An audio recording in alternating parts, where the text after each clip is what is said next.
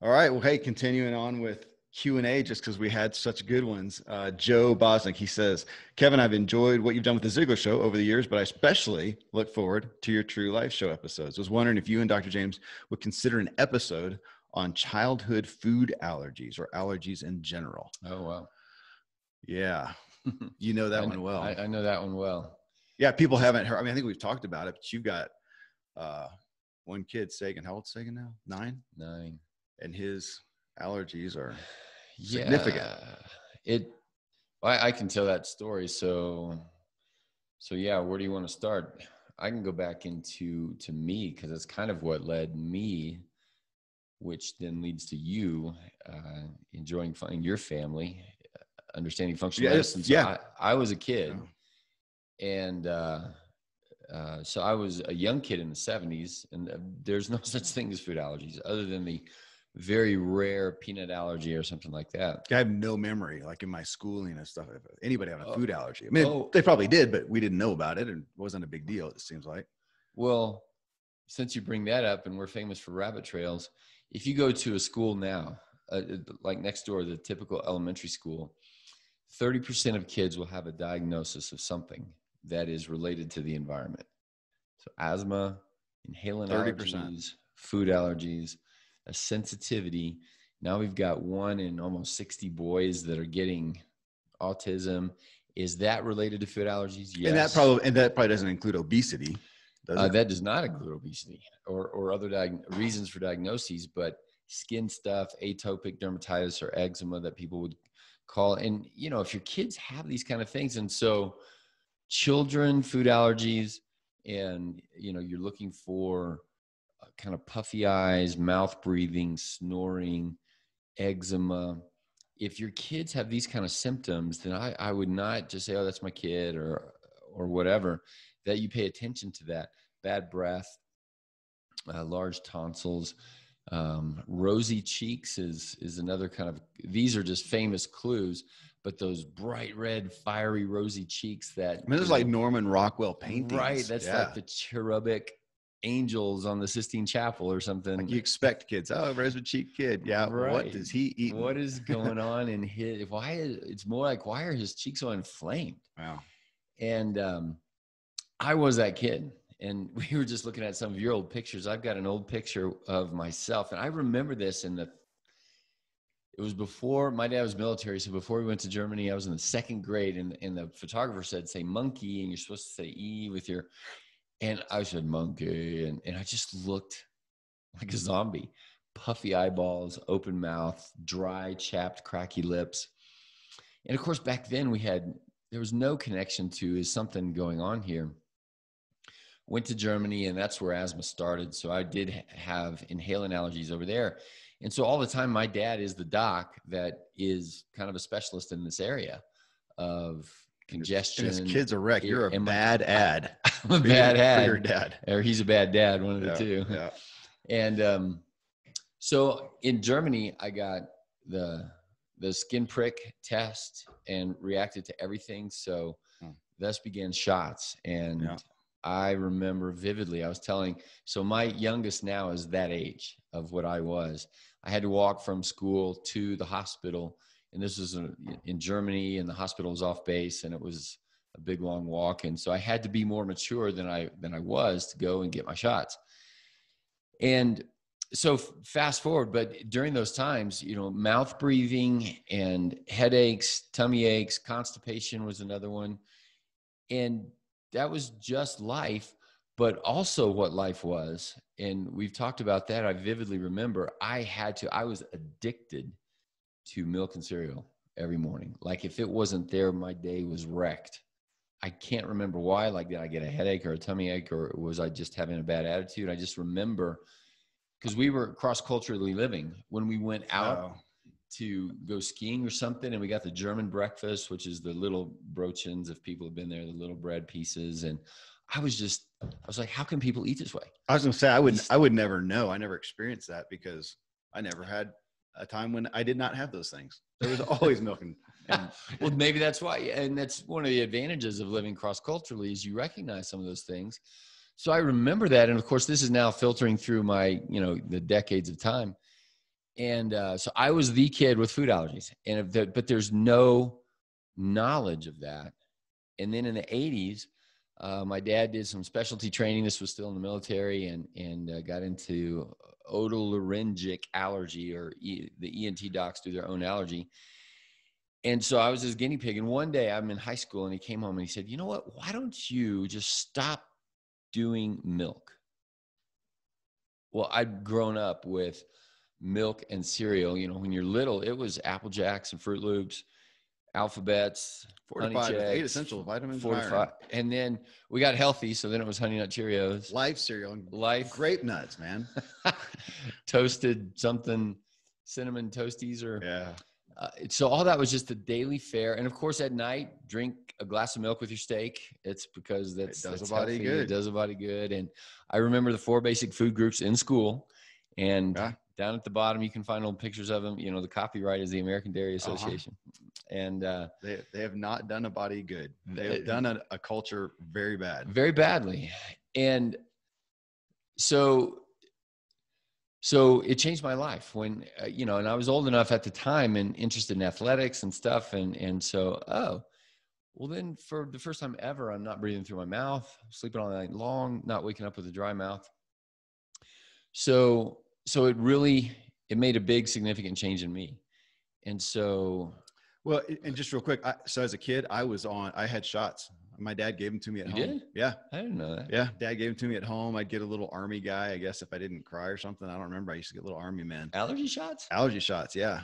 Uh-huh. huh But it was it was the perception at least was that it was seasonal stuff. Right, right. Inhale. That's what mo- that's what allergy shots are for. All right. I didn't when I had shots back then. That was in. inhale. I just wonder if it, you know was that really or was I because you know I was eating all the foods and stuff as well. But no, way. well, I think it goes in together. So, for lay people, a good idea to think about is that we're all born with a think of an empty cup, right? And every breath you take puts a little drop in that cup.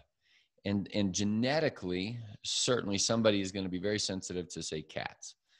And so along comes a cat, and all of a sudden, every breath fills your cup up fast. And in 10 seconds, you're overflowing through your eyes and your nose, right? It's just the itchy eyes, runny nose, uh, whatever your inhalant symptoms are. And some people are born genetically with a barrel, five gallon barrel, and they can, they can, you know, kiss the cat, rub their face in it, whatever else. It eventually, I would argue, all people can get enough of a cat or dust or smoke or whatever to trigger a sneeze or, or something. But some people are born with a thimble and they cannot be in the same room with a cat. They can, you know, and, and, and other people have a five gallon barrel. So that's genetically one of the things going on. And then how much water is going in?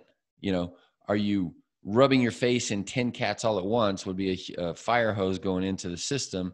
Or is it a cat in the room next door that barely one little hair Yeah. wafts over every day and, and somebody might be sensitive to that. So that's that's inhalant allergies.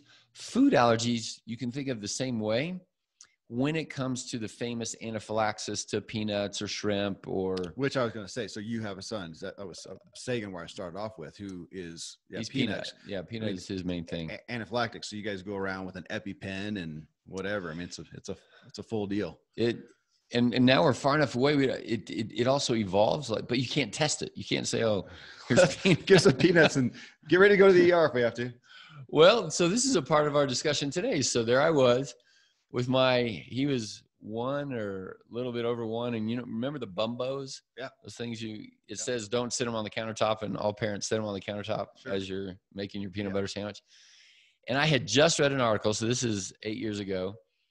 And for years and years, we taught in, you know, pediatrics family practice, you know, don't give your kid nuts until later on. Let them develop their immune system. And this article was saying, well, wait a minute expose the system earlier, but not a lot. And so I'm literally reading. This is in the JAMA, so a Journal of American Medical Association. It's not a weird journal; it's a it's a major one. And I'm reading this, I'm making a peanut butter sandwich in front of my kid, just sitting there. I take a spoonful, I shove it in his mouth, and uh, with without a second thought. And so finished making my sandwich, and and in fact, we have family over Uh, and in about you know three or four minutes, I just glance over at him, and his eyes are wide and his face is bright red. His whole face. Wow. I'm like, uh, and he just, you know how kids when they're excited about eating and they flap their they flap their arms like that. He's flapping and like I think he wants more, but I'm I'm waiting, and then he just upchucks, Oh. and uh, so he got exposed one more time after that, and and and his response was was the barfing, and so then we did uh, the blood work and the test, and sure enough, he's he's got IgE, so allergically it's it's it's mediated by this acute anaphylactic pathway. And that's the famous food allergy of peanuts and those kind of things. And those people do. So number one is avoidance just like if you're allergic to cats don't have a cat. And then if you get exposed to cats or or whatever the guy who's the thimble has to get uh, the epipen and and that's what we carried around for Well, you, you mentioned like the, for yourself the prick test. What are? I mean, there are some primary tests that you do use. yeah so tests. we also i don't know if you know this but we used to in the office do the prick test Uh-huh. Yeah, it, it's just cumbersome. Um, you have to do a control, so everybody gets a control of, of nothing, like you know, just saline. And if you react to that, then something's wrong with either the test or, or whatever. And then uh, a histamine, so you should have a huge reaction to that. And then cat, dog, dust, mold, and whatever we're testing in, in certain panels. And these days we use the blood work, so we'll send it off to Quest or LabCorp. Or Well, this is the same question. And where can these? I mean, can they? Can people go to a traditional doc and request an allergy? you know, or can? I, I did he- that as family practice doc because I was interested in allergy. Yeah. And a lot of those guys don't. They'll just send you to an allergist. If you go to an allergist in America, most of them are still doing skin prick. I was just saying, but people can do that. Can't? Can't they just? They don't. Do they have to have a referral? You- can they just? you- Go? You, oh, you don't need a referral to go to an allergist. So somebody can find the local allergist, Mhm. whatever, and go there and say, "I want a food allergy test." Well, Yeah. again, that's going to be the skin prick kind. So this is where the don't do- controversy they this is where the controversy starts. So in America, your typical allergy specialist. Now, granted, I haven't sat down and had coffee with one of these guys, um, but in the military, I did. So on my local base, we would have allergy extenders. So me, as the family practice doc on a small base, I went to a two-week course with the allergist at the medical center, and um, and learn how to do the skin prick testing and get the shots going and all of that. So that is one methodology of looking for IgE mediated allergy, and it's very effective. But what about IgG, IgM, and IgA? These are the other sort of pathways that your immune system works on to create the response. Okay. So even in COVID nineteen, you know, if people go get a, uh, you know, the acute test is a swab, nasal pharyngeal swab, like it, like just like strep throat. But what if we wanted to see if you had, like right now, if we did an antibody test on strep throat on you, we would it would be positive, but the positivity would be IgG or IgM those antibodies are what the immune system kind of learns and st- keeps around for the next time you have strep or the next time you have covid or the next time whatever. So so for foods we can test because the body will make igg igm f- to foods for dairy gluten corn soy all the foods and then it's uh and so the way i would talk about it with people is through the blood test that this is squishy science if that's fair right? Like we can measure your red blood cells and get it very, very accurate, precise. The, the number's going to be the same between You're saying Quest blood and is LabCorp. blood is squishier than the than the even prick? even the skin test is squishy because now you're you're measuring your response by pulling out a ruler and saying, well, this one was three millimeters of a wheel on your arm, and this one was 10 millimeters, and this one was eight, and this one was whatever.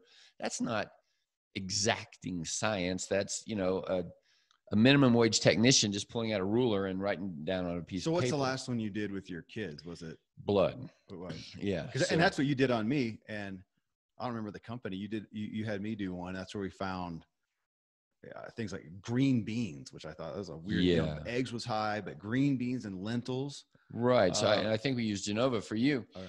And that's right. But what we were looking at there is IgG. So within the last few days, and remember, we tell you eat your normal stuff. don't be dairy free the week before your test. Now, if somebody is out there and they know, okay, let's back up a step here.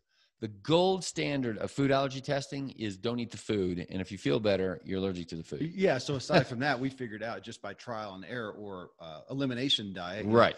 that That corn- still- yeah, corn bothers me, Yeah. especially even more than regular corn is corn derivatives. Products. So maltodextrin, xanthan gum, you know, and all the variations of corn syrup, corn solids, corn meal, corn blah blah. Right. all that, So whatever. processed corn. Processed corn. uh, and uh, nightshades Yeah. Yeah. uh, are, are I just they don't do my body good. Doesn't mean they're bad necessarily, but for me, I just for some reason like your you said, I have- I have a little- yeah, I have a you thimble. got a little, little I have a thimble. thimble, and so those things I pretty much don't do. I'll do you know a little bit of salsa. Some, actually, I'll sometimes I'll do you know half a cup or something like that. And I'm kind of deal with I'm kind of wary of am I going to mess me up, but uh, Yeah. Well, and I'll do the same thing for, you know, the weekend movie night ice cream treat, knowing I'll maybe be a little stuffy the next day. and to that degree, I mean, if you look at name the top allergens. Uh, go, well, now, okay, food allergens? Yeah, Okay. Because the inhalant allergens are going to be even more. Yeah, yeah, stick with, with Uh, yeah. So, so I would say gluten is number one, dairy number two, corn number three, soy number four. So that, that's the four horsemen of the apocalypse, we call it. And And- it, it's probably good to point out there that it is the industrialization and the processing, I think, that has really messed things up over time. Yeah, like how would I be if I had an ear of corn from 300 years ago off the farm? the Indians. probably, right, but we can't yeah. even get that anymore. It, it doesn't exist. Yeah. Right. But to that, you know, back when we talked about elimination diet, if you feel like, well, in this case, Joe, you know, there's there's a food allergy, so take the that I, I do those four. or, or but can you even do? I mean, because you know, people, I, I'm not going to eat those foods for so long. Well, you can do one at a time, right? Say, okay, You just can, out. But here's dairy. so here's where it starts to get complex. Let's just stick with those four. Yeah. Some people are going to be fine with gluten alone or dairy alone, but you have gluten and dairy, Wow. which is, you know, a grilled cheese. That's the combination that fills the fills your cup up faster. Why is that? And all those questions we don't know. Right? So the Yeah. science of that we don't know. Now imagine with just four foods, you've got six I can't do that math. 16 Right. combination potential Yeah. combinations that you would have to then do the elimination of. Well, what if you do dairy, gluten, soy? Yeah, yeah. Now you've got whatever the multi Well, and and I've told this story before, but I'll, I'll make it super fast. Uh, that one of the things, yeah, that brought us together was uh, my wife had our our last biological kiddo, at least, and his face is just modeled, getting worse every day, and he's on breast milk. And uh, came to you, and you said elimination diet, which to my thought process, and uh, I hadn't even consciously really thought about it, but it was just thinking, man, he's getting breast milk. That's probably Right. filtered. Anything she's taking. I was going to say, you thought of your wife as a filter. yeah, totally. And that he's getting good breast milk. And you're saying, well, no, whatever she's taking is coming through that. And she had increased her dairy. I don't know what the Well, reasoning Uh, women are are told, told to. Well, yeah. but she knows better about dairy. I, I don't know why she, I don't know. Anyways, uh, so she had done that. You said elimination diet, and we cut them all out. Uh, you know, even like Mm. soy and nuts and everything, cut it out. I think the idea was 90 days. I don't know how long we went, but anyways, then she came back in and tried to put something. I think the first thing she tried putting back in was dairy, and boom, right away, he gets mottled skin again. And we knew, so we took out dairy, and he was fine. And we've never let him have much dairy. Now he's 10, and he will sometimes here and there. We don't see some acute reaction, but I'm sure it's not helping him. But we just try to make it a treat. Right. And that's so we're back to one of those themes that we've said all along that you know chocolate well, so and so Joe, if you've got a kid, he's got a kid. I mean, there you go. I don't. There's, you know, you can go do so. You can go try to get a skin prick test. You can try to do a blood test that'll tell you that's great. Or you well food just- sensitivity let's be clear is not the skin prick test that's that's that's not the skin prick test so this food sensitivity Well- test is elimination it, it, unless you think it's peanuts but well, know, and, and he can- did. And he did say allergy, and we use that word a lot. When in fact we are saying no, not allergy, not a true allergy, but a sensitivity and intolerance or whatever. and then now we're into the squishy part that's what i'm talking about No, like, I'm, I'm with you. So better. So you're saying better than a test, if you're because that's going to cover an allergy, not a sense. Not an. That's a good point though. A test that uncovers an allergy, but it, it down here, if the kid didn't get a skin prick, it didn't show bad for dairy. They may still be highly intolerant or sensitive to it. and it's just hard to find the right chemical to test in the body. So we're back to you're better off. The gold standard is elimination. Yeah. But then you asked, okay, so and if we have to do each one, and I would say a minimum of, if you want to be real about it, three weeks.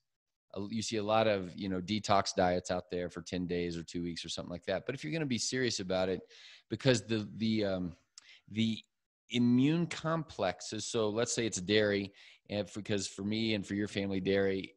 So I eat some dairy, and that that immunological response, the the sequelae or the consequences can stay around in the body for days and days. And so uh, there's some people who theorize, well, 21 days is going to get rid of all of that, and you know, 97% of people.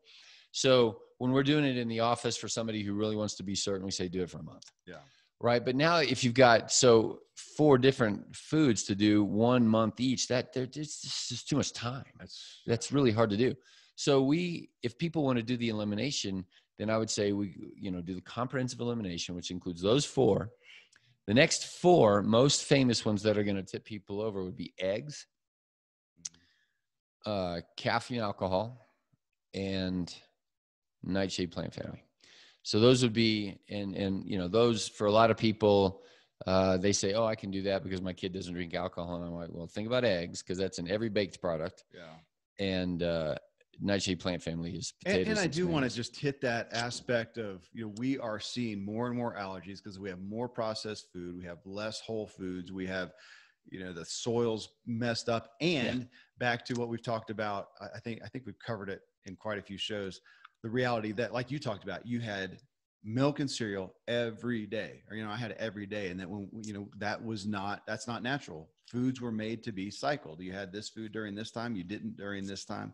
And then on dairy, I would say my own soapbox too. It's not helping anyone.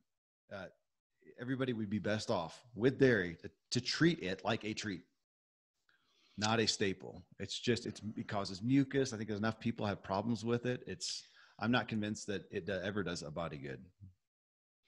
Uh, I, There I- goes my sponsorship by the American uh, Dairy. The American Dairy, yeah.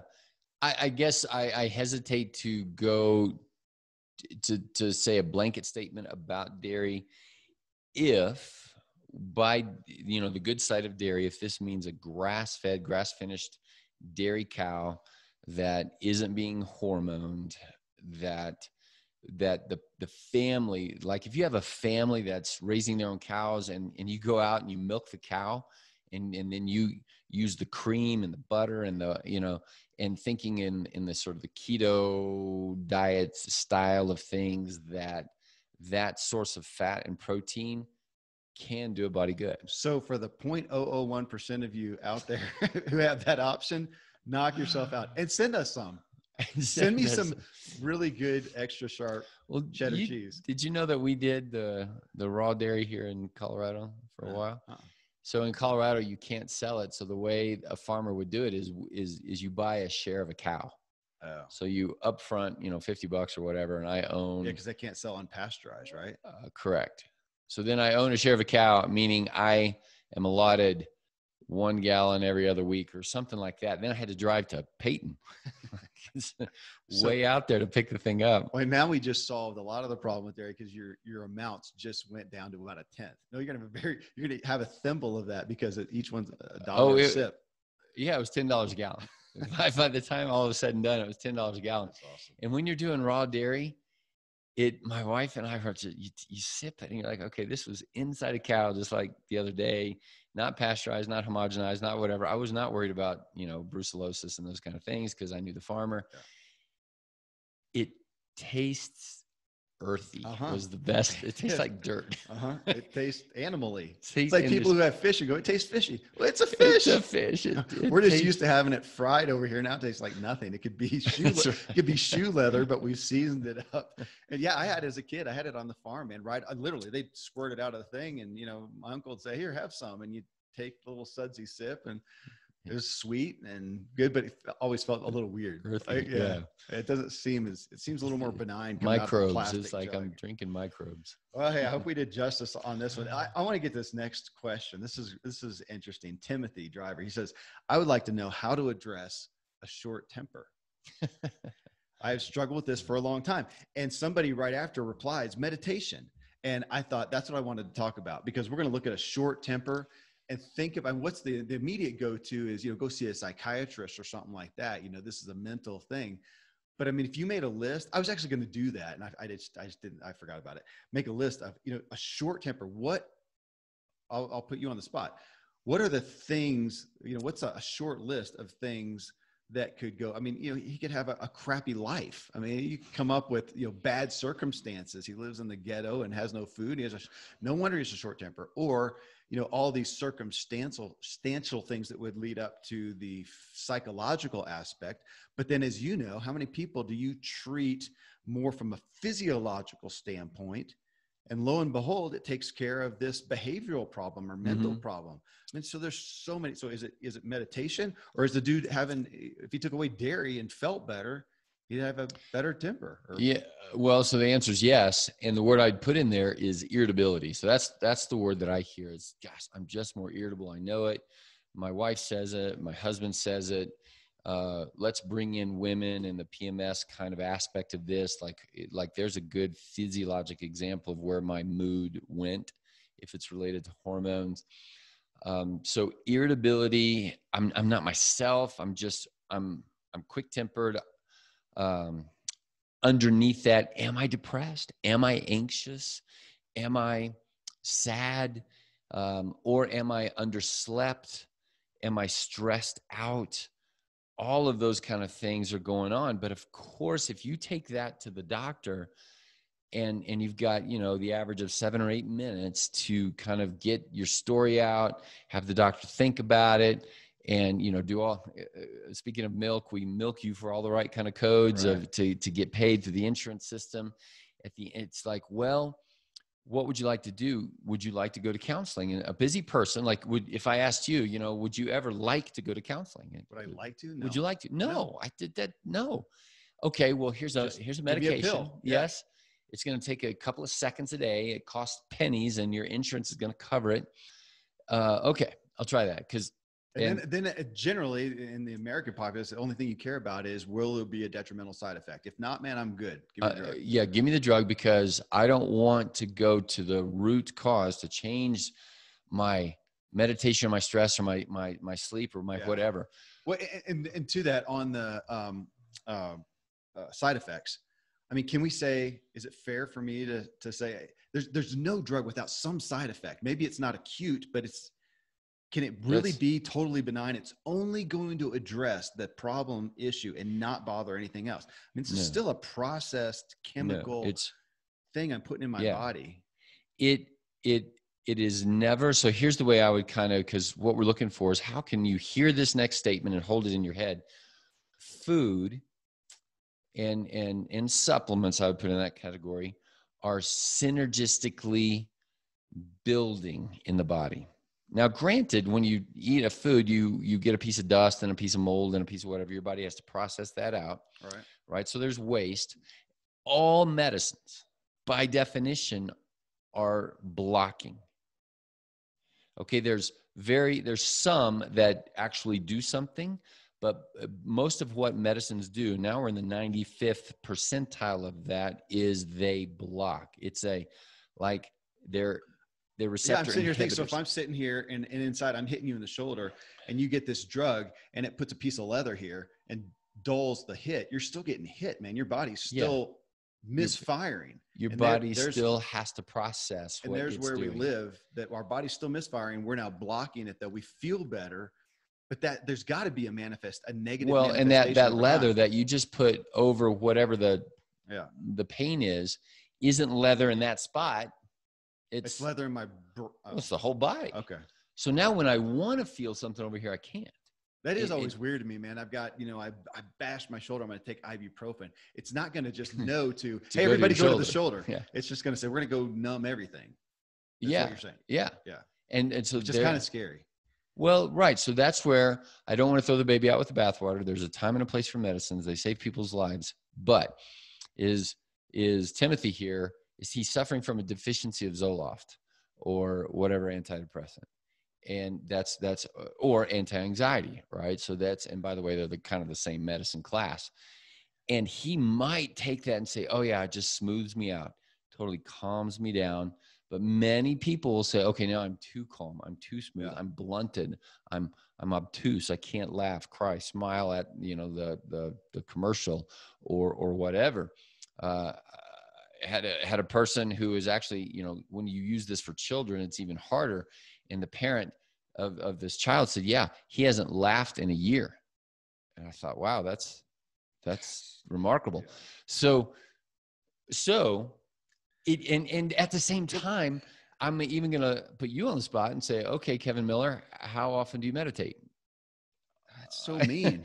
i know it, it- so so I know I'm, I, I'm, I, it, I'm not but giving. w- you know you would be better off I would be better off. Is it fair to? And I'm. A, I was gonna say hit it from a layman's side, which is the only way that I can. Since uh, that's only that's the only certification I have. I'm a certified layman. Um, is to say there is it viable to say that there's a high propensity. There's some depletion.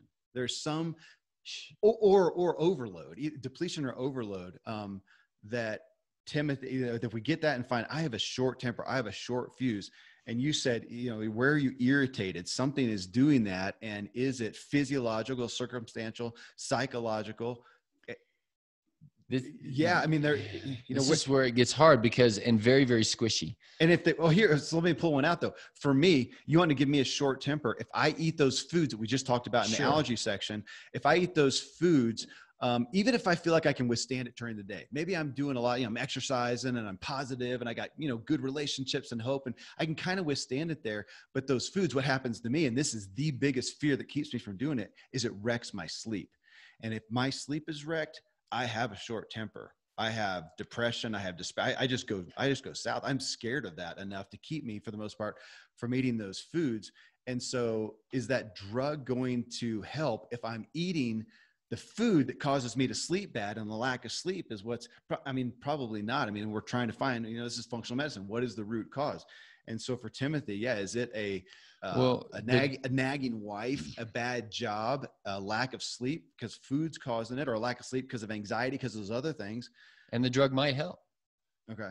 right it it, it and it also might hurt It might help, but it is masking a, it's dealing Under- with the symptom. underlying that, It is not right. getting to the root. You- So- that's right But I, but I, I want he- Timothy to hear, I love this question because man, there's a lot of options out there. But if he goes to traditional medicine, he's probably going to get one solution.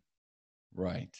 Right. Because even just as you say that, excuse me, as you say that, right. And I, I consider that my job is to help Yeah. Timothy think through, okay, You're the detective. That's what right. medicine where- talks about. where's the highest likelihood you, you've got an option in front of you of, okay, get him another hour of sleep for the next month. Okay. Take your wife out on more dates. Okay. Uh, find a new job right? Like uh, to find the underlying source of the irritability and also the meditation, Mhm. the exercise, those kinds of things, and the lab. So we're going to go. And if we actually look for, like with you, and said, holy smokes, you know, you've got the red foods that that popped up red on the scale here is that irritating your brain well how could we think that it wouldn't be Yeah. because those foods are going to go everywhere too and that that sense of inflammatory whatever that some person's going to perceive as anxiety or depression and somebody else perceives as a headache and he perceives as irritability that triggering biochemical reality has its roots. And i would say for chronic issues like this don't hope that there's one thing like nightshades or sleep. It's mostly nightshades and sleep and your relationship with your wife and a, a job environment all of those things. But that's overwhelming to think about. People have to say okay well just give me like you Well, and asking about the pillars okay gonna- well give me the, the number one main thing Well, and, and with the patient, you are going to do that. You're going to look at those. That gosh, is could be do. this. My, you, you, I can hear you say my the. My guess is right primary culprit may be this. Let's try this. And I would ask anybody, when was the last time your doctor ever said my guess? Right? So we're trained to act like we know. you, yeah, It is. It is. It is acting school founded on the principles of science, this, and that, and the other, and say, well, your serotonin's off and it sounds all smart which and is good. why we pick on doctors as being pedantic because they have to be the They're taught to be. smart and everything. And and actually, that's not blame only the doctors. That's what the patients want. true. you don't really hope maybe, yeah. That if okay, if I just take this pill, I'm going to be all better. That's a that's that's a nice life I if you could do that. I, I want to on one of those. I want to hit one thing that I I'm just I, it's so interesting to me. Like with Timothy, and I had a friend bring it out, and I- I've heard it in different aspects. But Aaron McHugh, you remember Yeah. Aaron, and he talked. It was kind of a a, a- a shtick for him for a while about emotional calories. That we have so many emotional, and we just think we don't think about that. We don't think about hey, I have a cup today. I wake up, I have a cup, whatever big, a bucket, whatever emotional calories. I am going to spend them or not. So I'm going to use me as an example. Um, my emotional calories when i get up have my quiet time in the morning direct my day center myself i come into the office i spend the majority of the day in this office writing and creating uninterrupted. I go on a bike ride during that. We sit out on the deck and have lunch and talk about life. Um, and i've put out a lot of energy and effort during the day but man it's all in my wheelhouse I didn't really use up a lot of emotional calories. Man, I'm at peace and I'm good. I get home, I have plenty of temper left for my family. I'm good. Now, put me in a uh, where I got to go drive down the pass, which I hate, you know, just having to Mhm. mess with it. And I'm driving in traffic and all the people driving slow in the left lane.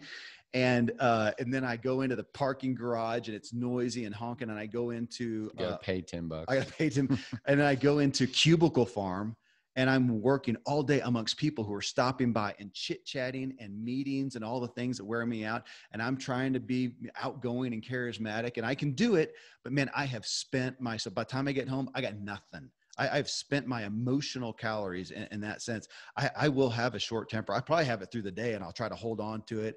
And I'm looking for a glass of wine, quick, if not another, you know, bigger drug. And I have a short temper.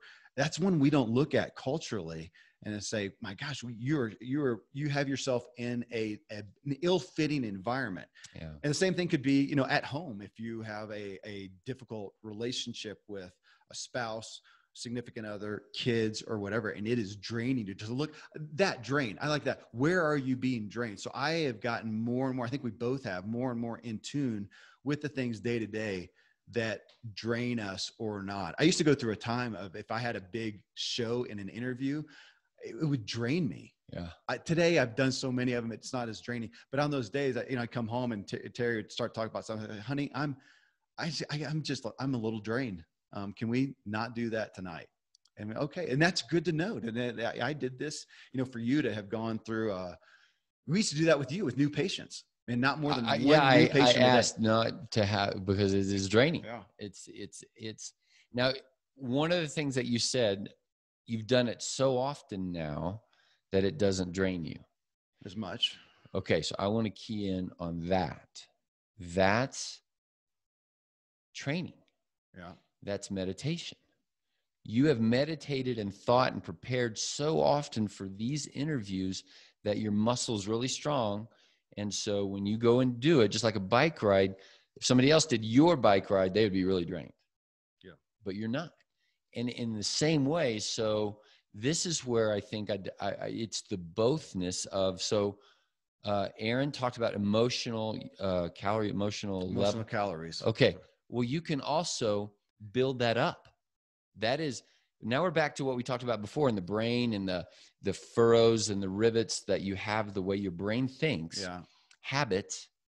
You can unhabit this area and habit this area. You can build up your emotional calories by getting your exercise, getting your sleep, getting good nutrition. And we're always going to say that. And by putting yourself in the right environment and that kind of thing. That's what I would call on the, uh, the, the epigenetic influences that are going into your mindfulness, your emotion, your psychology, and also the chemistry of your psychology, right? In terms of, of drinking your water and that kind of thing. And, and uh, you're building it up both on both both sides and think how marvelous that is think how complex that is and think how different that is from going to the doctor and getting a pill or even going to the psychiatrist and getting a talking to Yeah. Well, and talk about, I mean, so many variations of how to address that. I mean, you can get used to let, to, to too little sleep, but you don't want to get used well that, to that. that now we're in uh, what you you s- I, you can endure do- yeah. that, that's not building up emotional calories okay.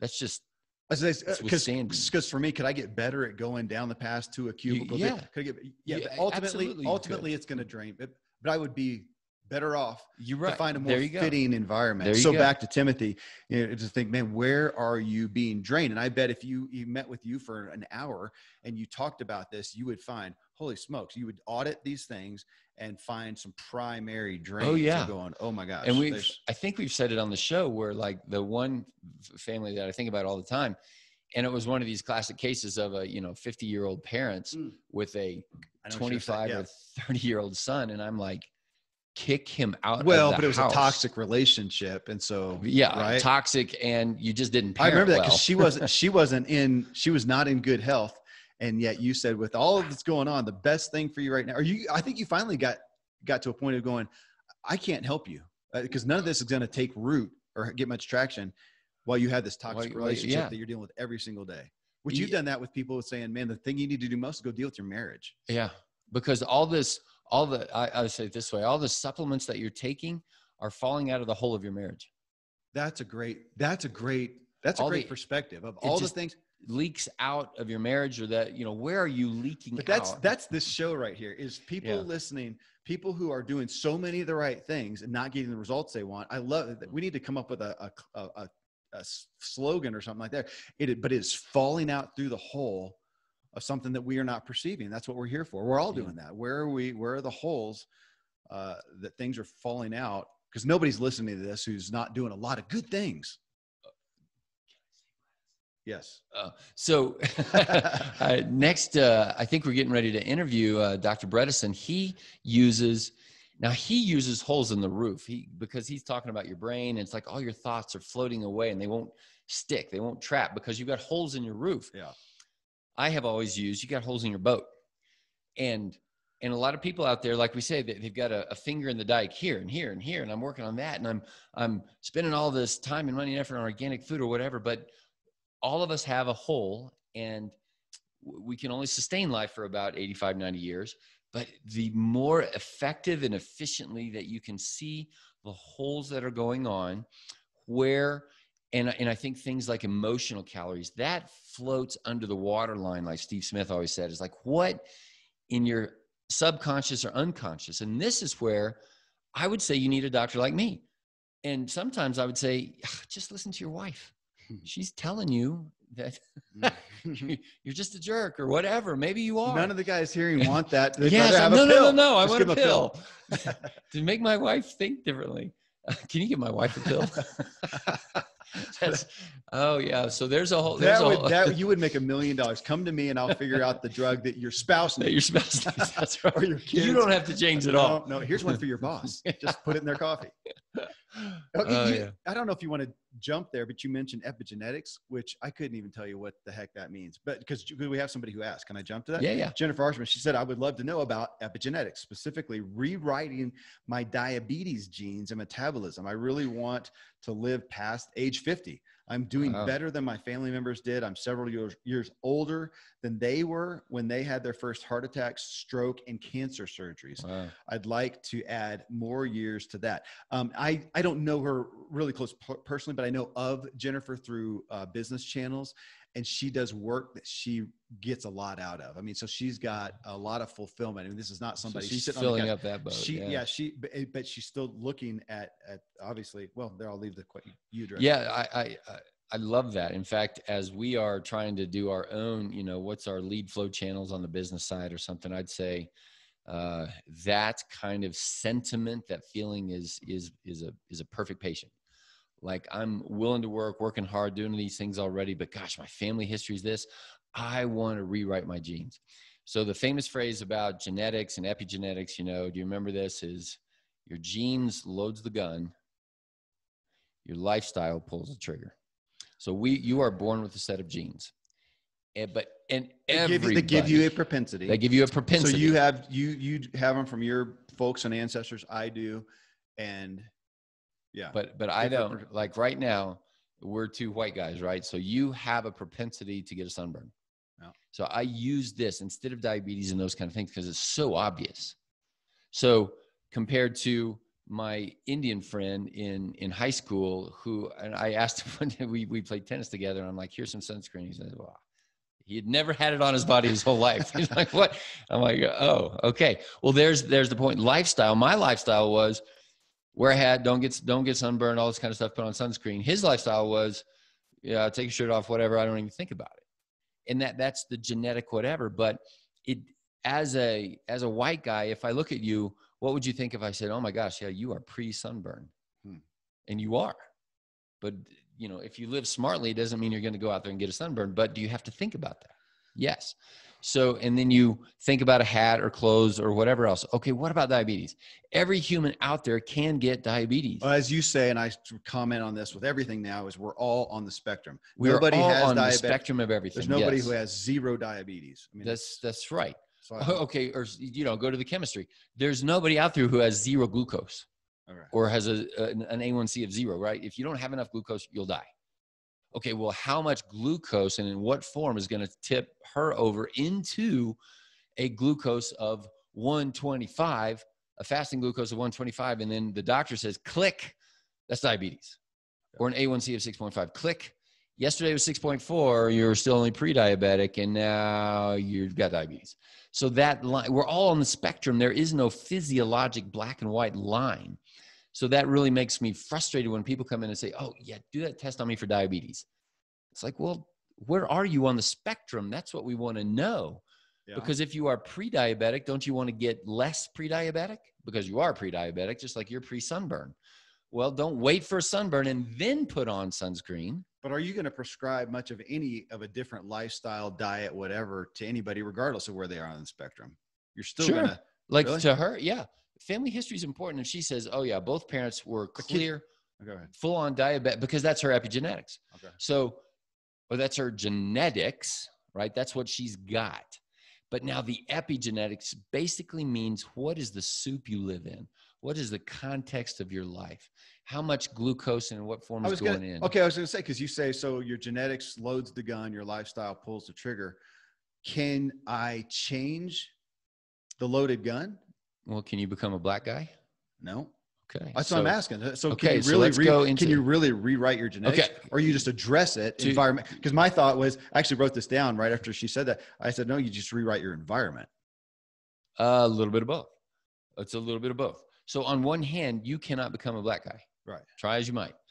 Uh, you still are going to have to think about sunscreen and all that kind of stuff. Um, so the way I would think about it as we look at the computer here, here's the example. I do want people to get this. Um, your genetics, 30% of it is hardwired. Male, female, black, white, blue eyes, brown eyes, long hair, short hair. Diabetic propensity. Yeah. Or diabetes. Uh, no, no, no, no. That no? so 30% okay. is hardwired. Okay. okay. We could say that if you use the word propensity or probability, there's a hardwiredness, but now we're getting unhardwired, right? That's the that that's what that word means. It's not black and white hardwired. So it some of it is black and white. You're not on the spectrum of male female, right? That or black that, white. Isn't that arguable these days? Well, yeah, okay. Let's not go there. You're not on the spectrum of having ten toes or eleven toes. Okay. It's it's a black and white genetically driven thing. Okay. Okay. Seventy percent of your genetics though is soft wired if you eat this way, then the propensity kicks in and you start to be becoming diabetic or uh, sunburned or fatty liver or atherosclerotic or hypertensive or whatever. You're not going to be becoming more female yeah. or be, be, be growing an 11th toe. That's not possible but you can be becoming epigenetically you are putting your genes in the environment that is becoming over here this way so mm-hmm. if i said uh, kannst du mich verstehen auf deutsch uh-huh. you would say uh, uh right fries with but that. i use the exact same alphabet that you are speaking every day yeah so if we look at the computer the computer is hardwired but with that computer i can type german I can't do it very well, but if I practiced it, I would be becoming more fluent in German with the exact same machine. But I can't take that machine and turn it into a frisbee. It's not hardwired to do that at all. So if Okay. people will hold that, 30% is hardwired and 70% is a complex series of if you remember back to basic coding and computer science you know of if then statements if this then that but what if you said well if my marriage is we said it already a hundred times if i got a good sleep if my marriage is going well if i love my job if i don't have to drive down the past then i've got a good attitude if I woke up and my kids didn't, you know, get up on time and I was late to take them to school and they pestered me and this and that and that. I have a short temper. So now he, uh, Tim, might be born predisposed to a short temper and all of that hardwiredness. And it would be an unwise person to say, oh, God made me this way. So just deal with it. Right. Or can My you even say partner- that predisposed to a short temper, or he's predisposed to a small cup in this area of his life? yeah, but now it's drained really fast? Yes. Yeah. And that's where I would tell somebody who says, oh, I'm just short tempered. I'd say, don't live that way. Yeah. You're that's That's where I get so I have such a hard time with labels. Um, Yeah, but we- you, you do. But if I said, Kevin, are you a white guy? I, I don't, That's- that's I don't a think of that as a negative name. Okay, are you a nudist? Well, not most of the time. Depends what resort I'm at, man. That's right. So we label all the time. uh, This is a table. okay. Negative. That's a okay, chair. negative labels. Negative labels because I because I we tend to lean into them. I don't like them As an excuse. That's well. That's the Yeah, crutch. or a, or a propensity. But but let me go back. I'm I'm I'm a little enamored with the loaded gun. So if 30 percent, you're saying I come out and 30 percent, my kid, you know, has a loaded is Uh, 30 percent yeah. is is already is already preloaded hard hardwired, and then things happen. I'm going back to my own issue with uh with nightshades that I assume is I did some extra hardwiring, negative hardwiring uh, with bike wrecks and stuff. I had a lot of, you know, pretty significant injuries and stuff so that unique to me, when I take that nightshade in, my body doesn't like it. Maybe your body's fine with it. My body has a sensitivity to it. It causes inflammation. I'm assuming, and it does so in a place that I, I. This is just my conjecture over, you know, experiential and and and stuff that it caused inflammation in a place that probably coincides maybe with an injury and it puts my back out like the Mhm. kind where you can't breathe and whatever because somebody else one is has no problem with nightshades two maybe does have a problem it causes inflammation but it just is a little irritability or whatever it doesn't put their back out you know mine is so i've got different hardwiring through you know so i was born and then boom we do these things we have these things that that do extra hardwiring increase our propensities and yeah, coming out of it though, can I change? I mean, can I go get a back surgery or go I get think a whatever? I know where you're going. well, Uh, Yeah. because and I I'm going to agree with you. When people say I have high blood pressure, depression, anxiety, uh, a heart attack, and they say, "Well, my dad had a heart attack at 50." How much of your ailments, Kevin Miller? How much of your nightshade sensitivity and it throws your back out is related to your predestined genetics yeah, versus the lifestyle? And I'm going to answer you 5%. That I think you're more likely to have turned on your sensitivity to uh, nightshades because you abused them. I, I agree. That's and, exactly what we do with milk and gluten. and go and then the other one that bothers me eh, that goes kind of into my little rant on labels right there is uh, would you say that even with the most positivity that she is that Jennifer's trying to partake in the reality that she knows she has come from that? I'm doing better than my family members did. I'm several years years older than when they had their first heart attack strokes and cancer surgeries.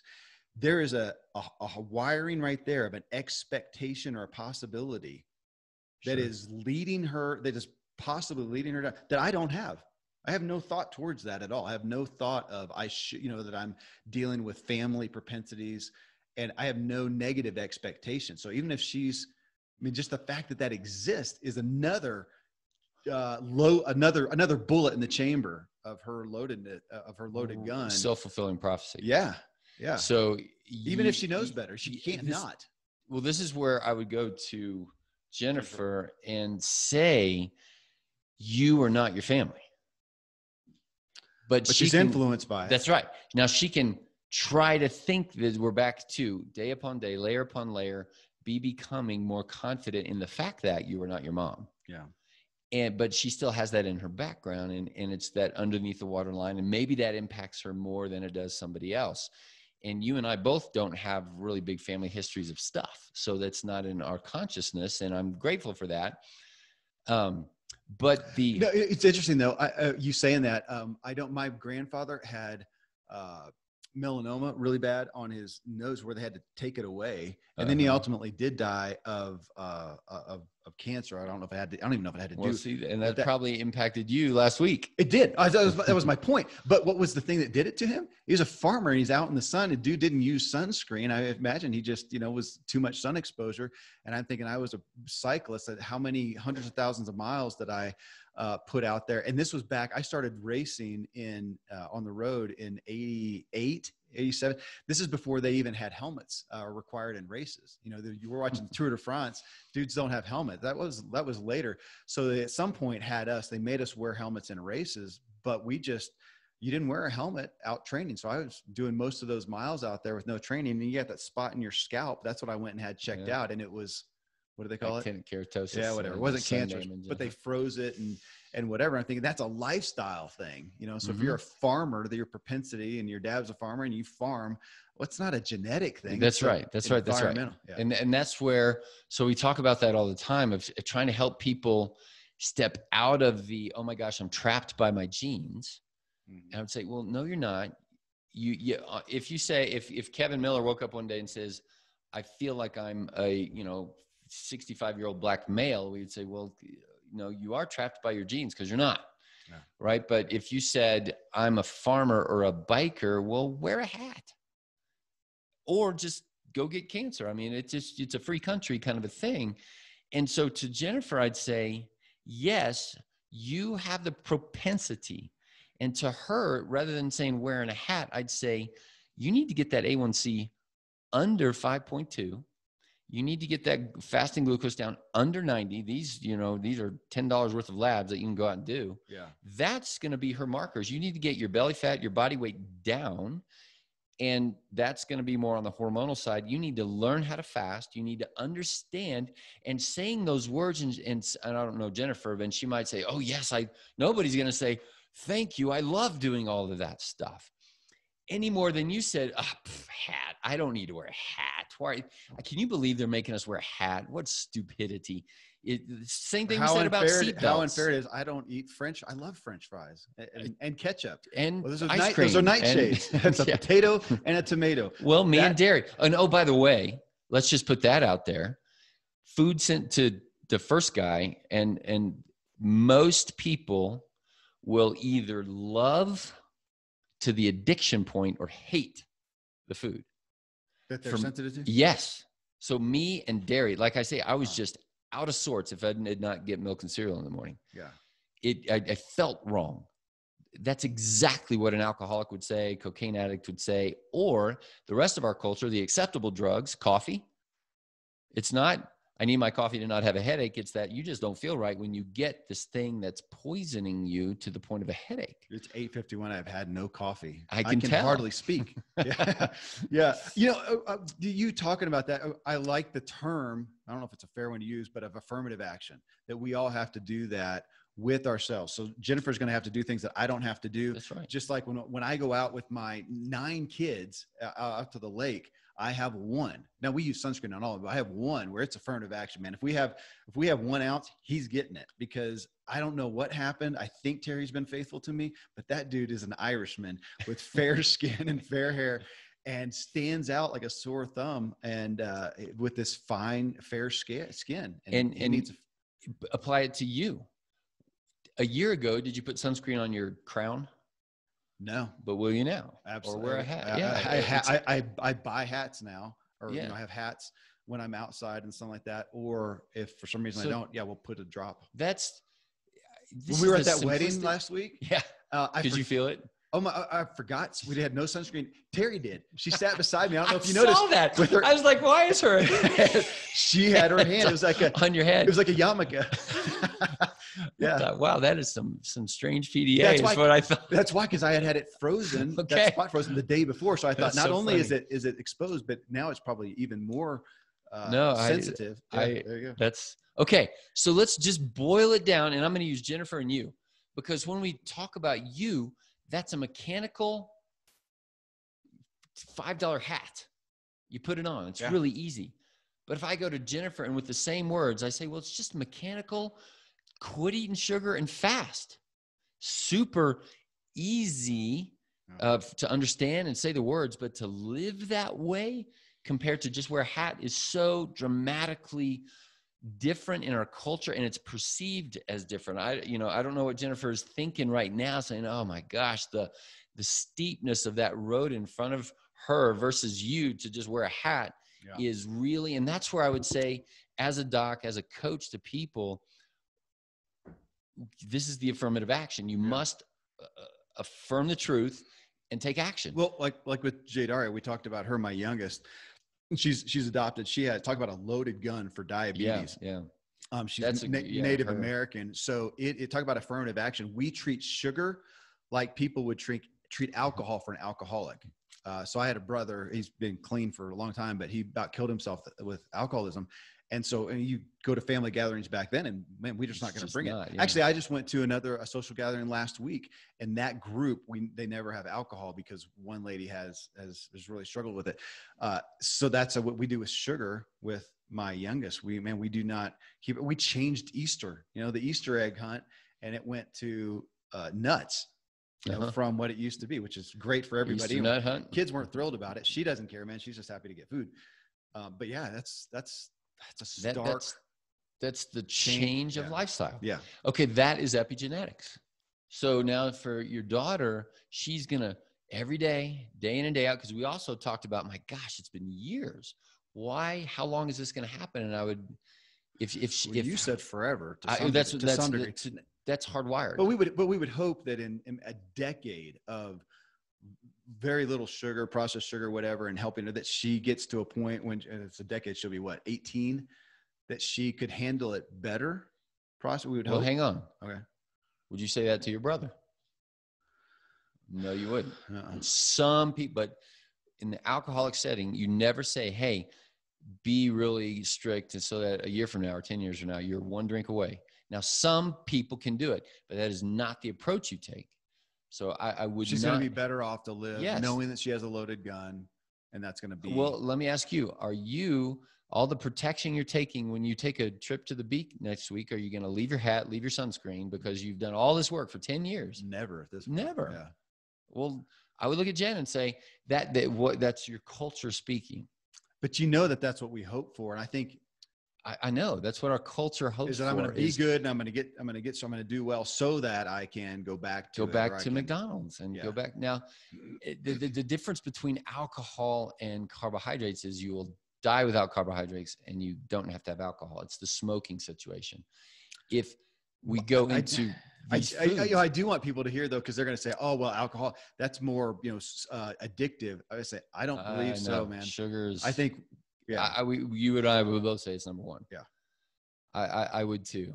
It, it is, it's a mystery. It's one of those uh, God uh, questions. Matter of fact, and gosh, this is dangerous to say because alcohol does have some some harsh realities attached to it of addiction and, and downfall, whatever. But I know I do know a lot of people who have gone to a glass or even two of dry red wine at night to keep them from imbibing in the you know M and M's and ice well, cream and, and, and the opposite is true. A lot of alcoholics turn to M&Ms. That's true. I mean, that, that's a famous, you know, they, they stop alcohol and they gain 50 pounds because they, they, they are addicted to the hand mouth, the, I was gonna, I was still going to say I think as a culture we better off to have a glass of wine at night than what most people eat. The chips, the processed well, stuff. yeah, but now we're into, uh, you know, what, whatever the poison is and the thimble, yeah, you, you know, if we stick managing a our cat in your house, is not going to bother you, but it's going to send this guy through the roof. Yeah. But if you come along and say, well, I think everybody should have a little cat. It's, that's not fair to that guy. I don't think anybody should have a cat. Actually, not a pet guy. Dude. yeah, you're right. Yeah. Bad example. Uh, Wow. This is such a great topic, and I want to end on a encouraging note because this sounds so discouraging. Like, how come we're not lamenting? Can you believe the fact that I have to have broccoli every day, and the culture just shoves broccoli down my throat, or that we all that we fast all the time and that we exercise too much you know these are not the problems of our culture. And then when we come along and say have less m&ms and have more broccoli or whatever. It seems so uh, trite or like people hear us and and and and you know we hear this all the time for for me and Jane that patients would be embarrassed that they didn't live up to expectations or whatever. I mean, you and I we've got our own battles and foibles and everybody's on the spectrum. Yeah. So so now we're back to the positive affirming action side of this that everybody out there does obey certain epigenetic rules all the time. Nobody forgets to wear their clothes. Nobody forgets to stop at a red light. Nobody, uh, because we set up such strong habits, such strong environments for those kind of things. Now, to immediately pull out of an addiction to sugar or alcohol or something like that is is one of the, it's the hardest thing in the world. Yeah. It is. So with wisdom and with love and with the people around you and that's what we do as as as a doc i don't just say oh well the diagnosis is diabetes you need to fast three days a week and stop sugar and blah blah blah blah. It's oh my gosh this is going to be so hard but we will walk with you. I will call you once a week. We will have you come in. We will do these things. We'll set up a coach and a nutritionist and, a, and a, all of that. But people don't live in that environment with their marriage or their job or if you had to drive down the pass or whatever. But if you know what's the next right best thing that you can change, then hopefully this conversation has helped people to think through that. I was gonna say ultimately it's hopeful. It's like taking a bunch of kids and saying, "Hey, can we all be good basketball players?" Let's go. Let's not go to the extreme and say NBA, but can we all be, you know, on the on the high school basketball team? I'm gonna take any group of ten kids, boys, girls, whatever, and say it's possible. Yeah. Absolutely possible. Well, you could even guarantee. I guarantee you will be better than you were better than you were. But I could say, you know, you'd still say even if even if I'm only five foot tall, sure, you'll be better than you are. Spud Webb, how mm-hmm. tall was he? Five, five three, something. something in the NBA.